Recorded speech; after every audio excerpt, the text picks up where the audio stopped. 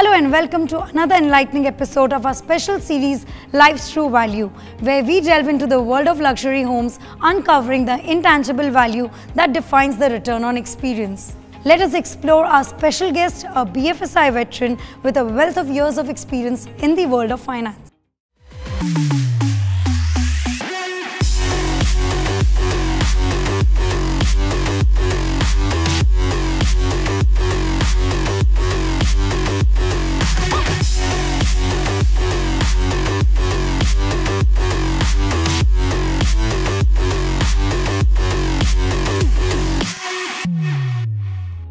Return on experience has become a critical consideration for the top executives. So it is fair to assume that they approach major investments like buying a luxury home with a detailed evaluation of its potential ROX.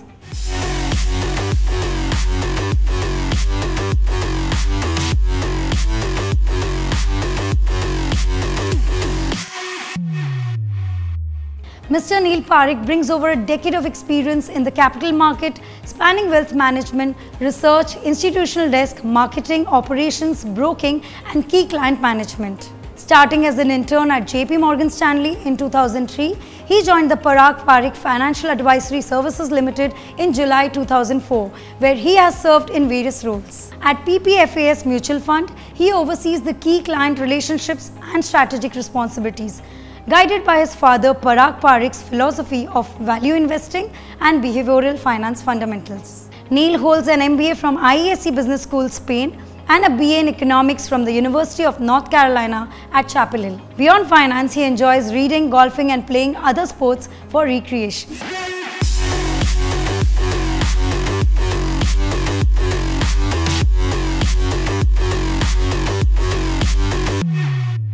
What are the deeper reasons for seasoned professionals to buy luxury homes? To understand that, please welcome the highlight of today's episode, our special guest, Mr. Neil Parag Parikh, who's the Chairman and Chief Executive Officer of PPFAS Mutual Fund.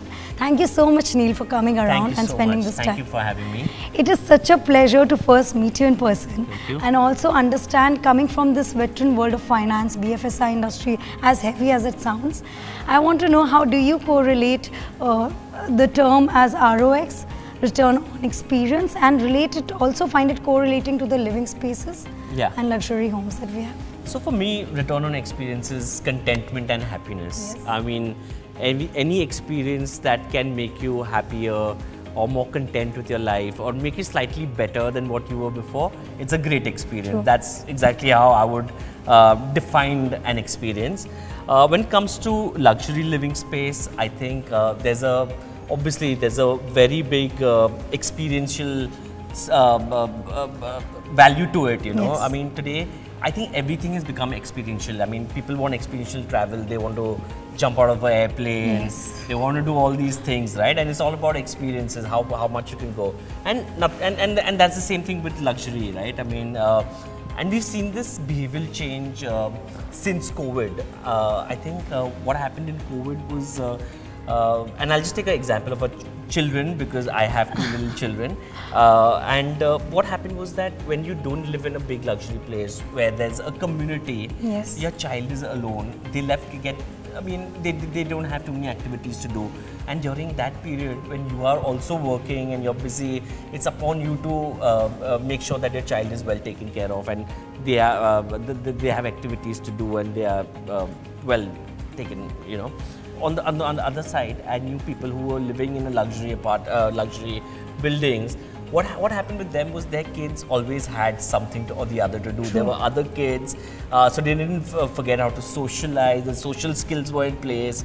Also, the fact that they had so many classes for the kids, and they were never getting bored, you know. And the and the parents had enough time to work and concentrate on So that. you could draw a balance between how you handle the Absolutely, I think- stay together in a community and experience luxury. Absolutely, and uh, you can't get better than that, right? Have luxury and have your community and of like-minded people, Yes. right? I mean, you also want to network. I think when you're in a luxury place with people like-minded with you, and network with them, you know, and uh, that can open other opportunities for yourself too. If today you are picking up a luxury space, as you mentioned, community really matters to you.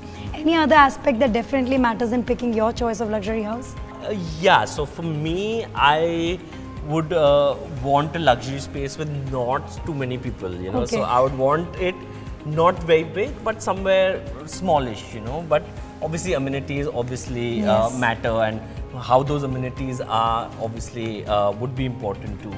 Now that we know how you look at luxurious property, let me take you around this luxurious property and talk more about your life and business. Let's.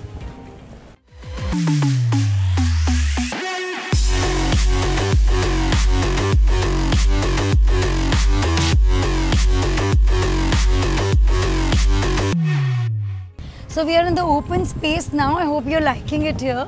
Yes, it's beautiful here. Hopefully, What it doesn't rain. what is your favorite place in your living space when it comes to like this must be there or this should be a part of my living area?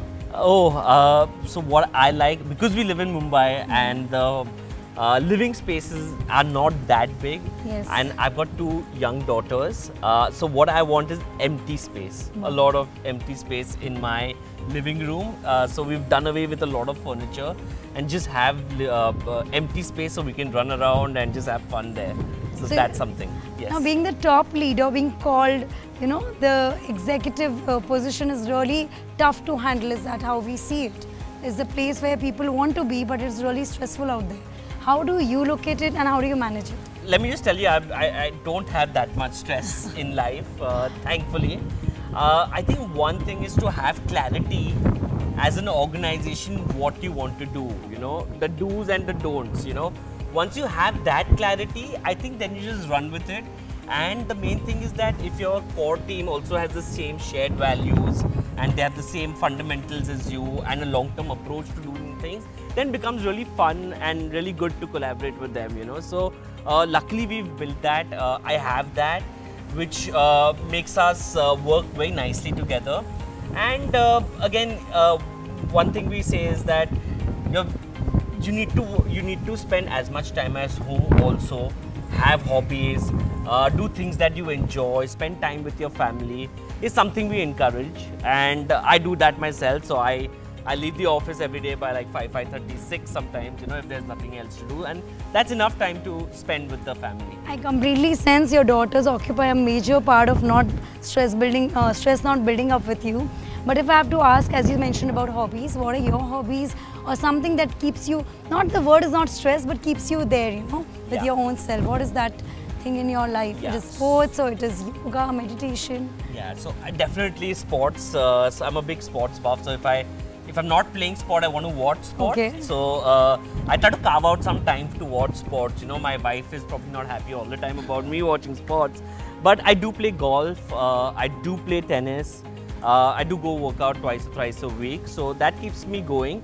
Uh, again, one other thing is uh, what has helped me a lot is that Saturday, Sunday completely switch off from work completely switch off obviously there are some things that are uh, time critical or something needs to be done obviously. But uh, mo- mo- more and more than friday evening that's the last time i check my email and monday mornings when i check my email. So those two days sometimes now i don't even check my emails. And obviously having a couple of holidays in a year does help a lot You make the top boss chair sound so cool. I think now it becomes more easier to think that I want to be become something as in a stature that you are holding today, and it's not as stressful. But now that you mentioned you love sports, let me take you to some uh, areas around which have more of those sports in play. Maybe not a golf, Yeah. but maybe a basketball. Oh, lovely. Let's explore that. Now that I know you are a stress-free person, that's why you're doing so fabulously well. How do you relate the productivity, especially the work productivity, to your living space also? Do you find a correlation there? There is any correlation? Yes, I think uh, there's a big correlationship, uh, and I think a lot has changed during COVID. Okay. Here, you know, about the living space also becoming A your workspace. workspace, you know, and we have realized that we don't need to come to office every day for work to be done. You know, the COVID taught us that that okay, if someone is not well or somebody uh, cannot come to office, they can work from home. So I think today your your your residence has to have some space which is earmarked for your work, and I think that's very important. I think a lot of people in the last few years have bought have uh, from two bedrooms they've gone to three bedrooms or they've got little larger space to take care of this aspect, and I think uh, that's a very important aspect. The other aspect that important to me is that to cut the commu- commute time to go to from work to uh, uh, from from residence to work. So what I'm trying to build is that also the offices that we have are actually close to the clusters where our people stay. So when they come to office, I don't want them to spend so much time, you know. And this is to the best of our ability we can do it. It's not for everyone. It might not work. But I think two things. One is the uh, the, the restaurant is becoming bit, bit of the home uh, the, the, of the workspace and commute time can be if I can solve for that. I think that will improve productivity and experience of the uh, uh, of, of the uh, employee anyway. But do you experience like if your living space is good, your work productivity amplifies because you've had a great time at home and the whole feeling has kind of made you feel uh, Oh yes, more oh yes, yes, yes. Having a good uh, home life, spending time with your family, and doing things that you enjoy, actually make you actually come with a smile on your face the next day, right, to work. And if you're going to spend eight hours a day at work, you cannot uh, not have that part of your life be good, you know. So what we are encouraging is that everyone should take some time out to spend time with their family, do what they like doing, and come back happy to work. And even at work, we have a very open culture, you know, Yes. in the sense that open office, open culture. Uh, everyone can approach me if they want. There's no, as such, a very big hierarchical system to uh, uh, to get in touch with the seniors, you know. So it's a very open culture. We foster a lot of uh, conversation, collaboration within the team, within different teams and that actually uh, uh, increases the productivity. We try to do a lot of uh, stuff which is outside the office too. You know, we have like tournaments, cricket tournaments. Uh, we have retreats uh, where uh, bonding outside of work Becomes more strong. stronger within the work. So those are a couple of things. To know more about your business, I definitely need to show you the business center around. So let's go there and talk Please. more in depth about your business.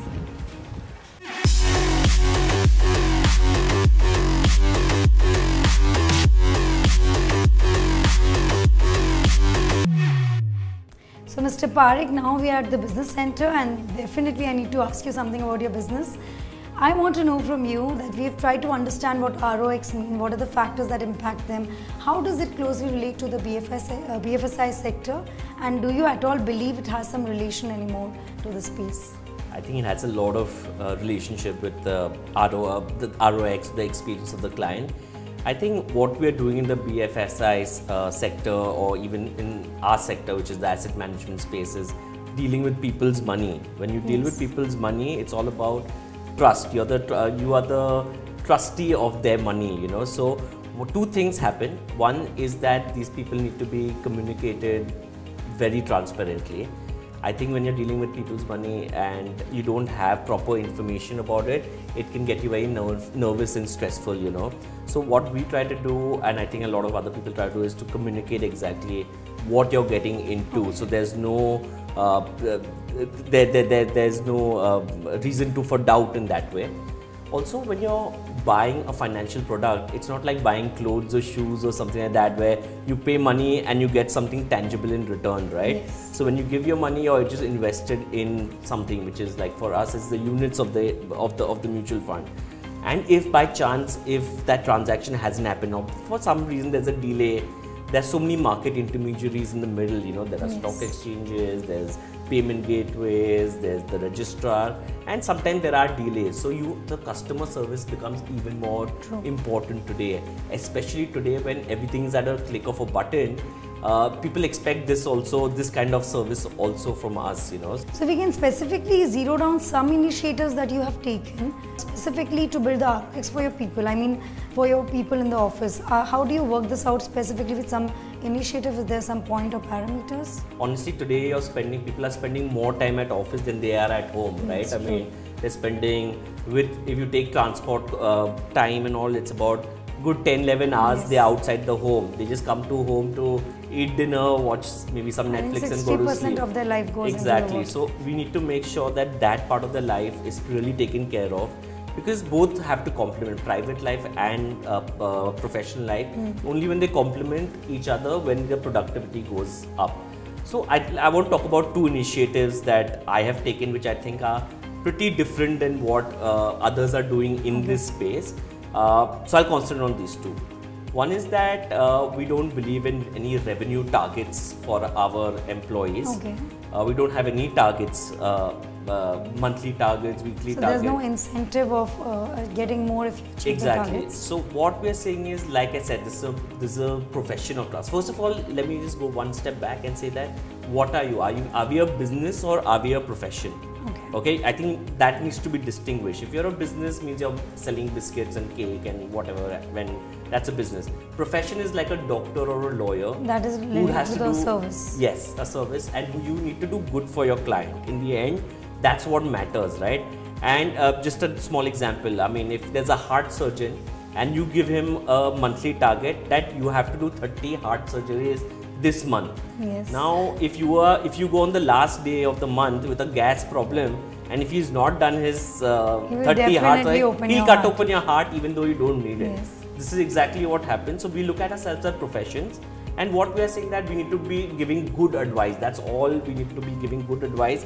We need to explain our products to them, and if the end client wants our, wants our services, then great. Then they should they, they should get it because for the right reason, not because uh, someone is hard selling them something or mis-selling they're, them. they're too much like to achieve the target, they go all out. Exactly. So that's where the mis-selling happens, right? Yes. That's what the mis-selling happens at that point where they have to do the target and they'll sell anything to anyone, right? True.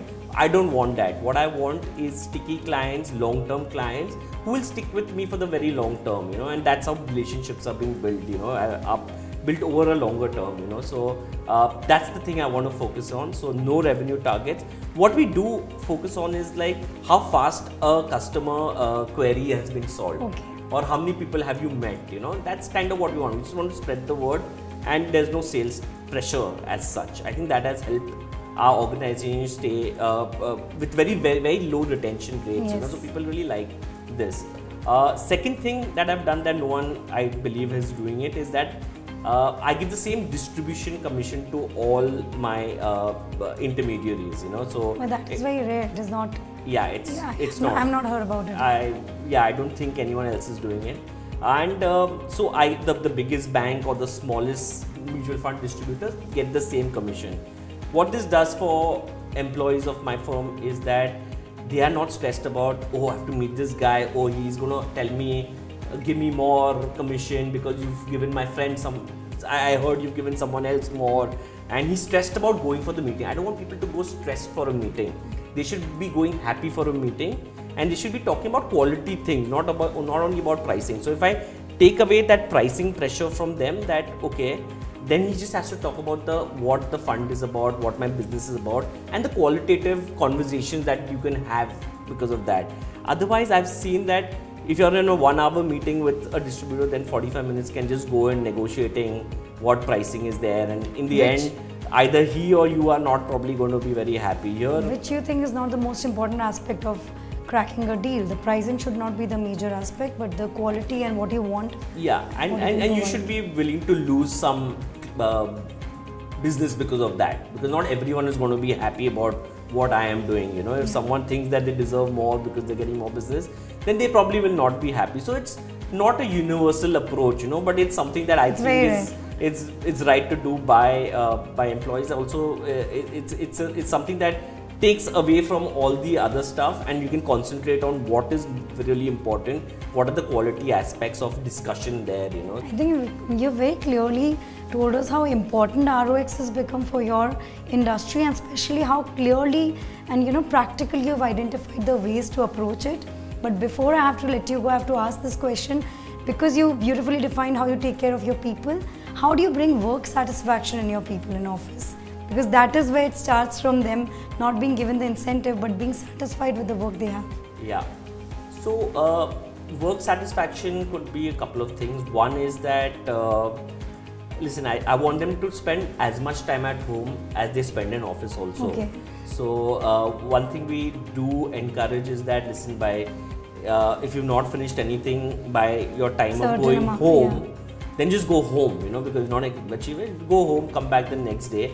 Uh, again, there's no very uh, very uh, close deadlines we give them. We give them a longer rope, you know, something we, we usually try to. There are obviously some things that come very immediate or something which you need to do it, but on, so a on a relaxed environment for them. it's it's a bit of a relaxed environment there. Uh, again, we do have our cricket matches and internal uh, TGIFs and all those things, uh, uh, uh, annual retreat for everyone. So uh, try to get the team as much closer by doing things outside of work also, not only uh, in not only within the confines of the work. So I think uh, uh, that uh, that work life uh, balance needs to be there. Uh, And that brings that satisfaction in them. I would think so. I think uh, that brings some satisfaction. I think what what what also actually one more thing I want to say is that what not having targets does is that it doesn't have too much in uh, internal tensions, There's internal internal policies, uh, internal po- politics, internal. Uh, you know the uh, it's it's not a very healthy uh, competition. Then you know when you don't have that it's a healthy competition i feel and everyone works as a team each team is helping the other team because they know that as no the race. organization goes up we all will go up so it's a very uh, so i think that what that does is a very collaborative kind of culture it brings into it you know uh, i think that has uh, it is no competition with each other, but competing with the industry and making it better yeah, for. it's it's it's, it's actual teamwork. I think I, what I see is actual teamwork. It's not like oh, if I help you, then your your will sales will go up, mine will go down. No, it's like okay, you do well, we all will do well. You know, so that's kind of the culture uh, we've tried to build. And a, it's it is a teamwork. You know, today yesterday we won the World Cup. It's a team effort, right? I mean, it's not only one person. So uh, that's kind of where we are coming from. Is like it's a team. As the organization does well, everyone will do well. So I think, Mr. Parikh, you've just cracked the term ROX very well. You've kind of figured out how this can be used in the best way for your company and the industry as a whole. It is real pleasure to know this from you, and thank you so much for giving Thank- me time thank you- today for this for episode and giving us that insight into how to understand ROX and how to encourage your employees to do better with no competition. thank you so much. Thank you for having me here. As we draw curtains to this episode, let me express my heartfelt gratitude to Mr. Neil Parag Parikh. His wisdom, experience, and insights have enriched our conversation and given it a depth and unique perspective, making this conversation truly insightful and valuable. This is Anku Goel signing off from 25 South, one of India's most luxurious residential places and an oasis of elegance and opulence. We'll come back soon with another interesting episode. Till then, stay positive and stay productive.